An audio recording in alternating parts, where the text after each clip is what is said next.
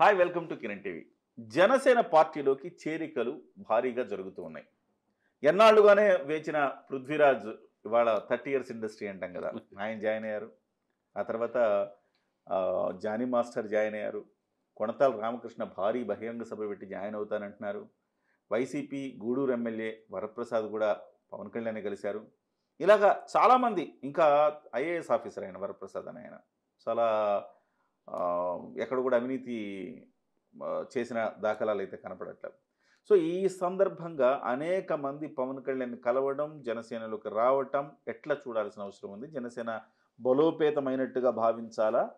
కొంతమంది చేరడం వల్ల జనసేన ఎక్కువ సీట్లు బార్గెన్ చేసే అవకాశం ఉందా? మాట్లాడదాం. మనతో పాటుగా చంద్ర శ్రీనివాస్ గారు ప్రముఖ రాజకీయ విశ్లేషకులు ఉన్నారు. నమస్కారం సార్. నమస్కారం కిరణ్ గారు. ఏంటి సార్ జనసేన మొత్తం అసలు పండుగ వాతావరణం జనసేనలో కనపడుతుంది? డెఫినెట్గా అండి. ఇప్పుడు మనం అనుకున్నట్టు కలిసి వచ్చే కాలానికి నడిచి వచ్చే కొడుకు వచ్చినట్టుగా జనసేన ఆఫీసు కలకలాడుతుంది. ఎక్కడ ఒక చోట ఎమ్మెల్యే కాలేదు. అనేక. విమర్శలు ఎదుర్కొన్నాడు. ప్యాకేజ్. స్టార్ అని పడ్డాడు మ్యారేజ్. స్టార్ అని చెప్పి ఆరోపణలు. చివరికి తన కుటుంబాన్ని తన మానసికంగా ఎక్కడ. ఇబ్బంది పెట్టినా ఎక్కడ మక్కువ ధైర్యంతో ప్రజాక్షేత్రంలో ఉన్నాడు సార్ అతను. ఈ రోజుకి నిన్న అన్ని శుభకార్యాలు అన్నట్టుగా గాజు గ్లాస్ గుర్తు కూడా ఎలక్షన్ కమిషన్ ఇచ్చేసింది. ఓకేనా? అది రాదు అని చెప్పి చాలామంది అనుకున్న వాళ్ళకి పాపం త్రీ ట్వంటీ ఫోర్ ఆర్టికల్ ఒకటి ఉంటుంది ఎలక్షన్ కమిషన్ నిజాయితీగా పనిచేస్తుంది. గాజు గ్లాసు జనసేనదే అనేది. ఇక జనసేన ద్వారా వాళ్ళ కార్యకర్తలు గ్రాస్ రూట్లో వెళ్ళాల్సిన ఆవశ్యకత ఉంది. అదే సమయంలో వైసీపీ ఎందుకు వెళ్ళిపోతున్నారు? ఎమ్మెల్యేలు మంత్రులు అందరూ వెళ్ళిపోతున్నారు. చివరికి ఆయన కూడా ఆయన మాటల్లో కూడా సంతోషంగా దిగిపోతానే పదం కూడా నిన్న. తొందరపడి అన్నాడా వైసీపీ మైనస్ అవుతుంది జనసేన ప్లస్ అవుతుంది. ప్లస్ అవుతుంది. ఇది సమయంలో. అధికార పార్టీలో ఎక్కువ మంది జనసేన వైపు నైంటీ పర్సెంట్ జనసేన వైపు చూస్తున్నారు. విషయం ఏంటంటే ఇది ఒక అవకాశంగా భావించారు. మీరన్నట్టు. సమర్థవంతమైన ఐఏఎస్ ఆఫీసరు వరప్రసాద్ గారు. తిరుపతి గతంలో ఆయన ఎంపీకి కూడా పనిచేశాడు చిత్తూరు. ఆయన ఆయన గూడూరు వేసాడు ఎమ్మెల్యే. ఇప్పుడు ఆయన పోస్ట్ లేదు. ఇప్పుడు ఆయన కూడా జనసేన వైపు చూశాడంటే సమర్థత అవినీతి మరక లేని నిజాయితీ పరిపాలన ఎవరు చేస్తారో అనేది వాళ్ళకు కూడా కనపడుతుంది. ఒకవైపు బాలశౌరి ఇప్పుడు నిన్న కృష్ణదేవరాయలు లేపారు. నేను అన్నట్టు కొడతల రామకృష్ణ భారీ బహిరంగ సభ పెట్టి. ఫిబ్రవరి ఫోర్త్ జాయిన్ అవుతానంటున్నాడు. అవును. ఇకపోతే మీరు అన్నట్టు థర్టీ ఇయర్స్ ఇండస్ట్రీ.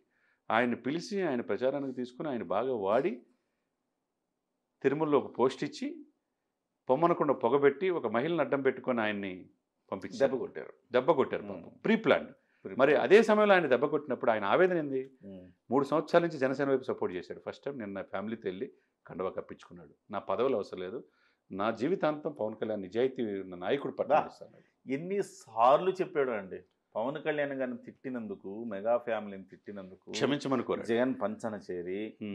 క్షమించమని కోరాడు. ఇవాళ సార్ జగన్మోహన్ రెడ్డి గారు చాలామంది జగన్మోహన్ రెడ్డి గారి దగ్గర ఇవాళ మంత్రి పదవి రావాలన్నా ప్రమోషన్ రావాలన్నా సీటు రావాలన్నా పనులు జరగాలన్నా పవన్ కళ్యాణ్ని తిట్టాలి. అది కూడా బూతులు.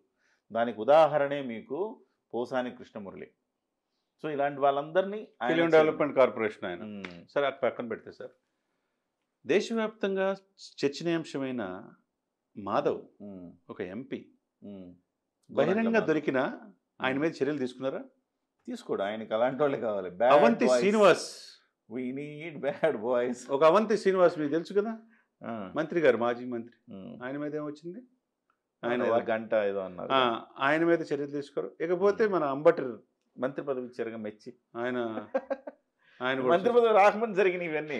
చూడండి ఇక చూడండి. ఇటువంటి వాళ్ళు ఎవరికైనా లేదు. అంటే పృథ్వీ వెనక ఎవరు లేరు? అనే కదా.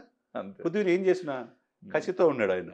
థర్టీ ఇయర్స్ కసి ఒకటైతే నేను ఎట్లయినా ఈ ప్రభుత్వాన్ని దించాలని కసితో. నిన్న ఫ్యామిలీతో సహా వెళ్ళి సార్ ఇంకా చాలా భారీ చేరికలు ఉన్నాయంటున్నారు సార్. ఇంకా చాలా మంది వస్తున్నారు అని అంటున్నారు డెఫినెట్గా అండి ఇప్పుడు జానీ మాస్టర్ ఇప్పుడు అందుకే ఇప్పటి వరకు సీట్లు ప్రకటించలేదు. కొంతమంది బలమైన అభ్యర్థులు వస్తారు.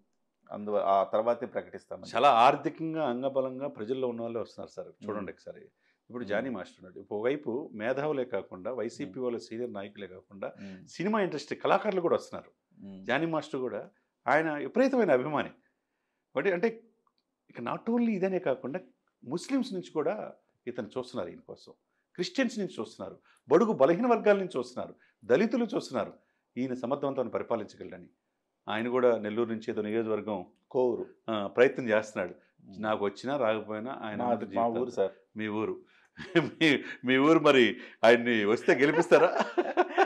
ఖచ్చితంగా సార్. గెలిపిస్తాం. డెఫినెట్గా అంటే అంటే రెడ్డి ప్రాబ్లం ఎక్కువ ఉన్న జిల్లా సార్ అది. సహజంగా రెడ్లే గెలుస్తుంటారు అక్కడ. అదే సమయంలో- మీకు మీకు అంటే ఫస్ట్ టైం సార్ రెడ్లకి ఏ పార్టీ వచ్చినా రెడ్లకే ఇస్తారు సార్. కోర్ నియోజకవర్గంలో కూడా అందులో డౌట్ ఏం లేదు. వేరే ఏ సామాజిక వర్గం కూడా అక్కడ గెలిచే అవకాశం లేదు. అంటే బలం అంగబలం అర్ధబలం అన్నీ వాళ్ళకే ఉంటాయని. కానీ మొట్టమొదటి చరిత్రలో మొట్టమొదటిసారి చిరంజీవి అనే ఒక వ్యక్తి తుపాకులు తుపాకులు ఒక యానాది మహిళ సార్ గుడిసెలు పూరి గుడిసెలు ఉంటుంది ఆమెకి టికెట్ ఇచ్చాడు సార్. గొప్ప చరిత్ర అంతే అది. ఎలక్షన్ కూడా ఆయన వందేళ్ళు మాడుకుంటారు సార్ చరిత్ర అది. ఆయనే ఆయనకే సాధ్యమైంది ఆయన చేశాడు. మరి అది దృష్టిలో పెట్టుకొని ముప్పై అర్రావు- వేల ఓట్లు వచ్చినాయి సార్ అది సామాన్యం అది దృష్టిలో పెట్టుకొని అర్రావు జోయ్ గారు కూడా జానీ మాస్టర్ని ఇక్కడ మీ ఊరికి రిఫర్ చేశాడుగా? ఆ, అదే జరిగితే కనుక అవును. ఎక్కడైతే కోల్పోయిందో ఒక. ప్రయత్నం చేసే సోషల్ yes. ఈక్వెన్స్లో భాగంగా జానీ మాస్టర్ గెలిస్తే మంచిదే కదా? మంచిది. ఏమో సార్ ఇప్పుడు ఈసారి జానీ మాస్ నిజంగా అన్న ఒక ప్రయోగం చేశాడు. తమ్ముడు ఇంకో చేస్తాడు. చేయొచ్చు. అంతే. డెఫినెట్గా అక్కడ తెలుగుదేశం పార్టీ వాళ్ళకు కూడా అంత గట్టి పట్టేం లేదు.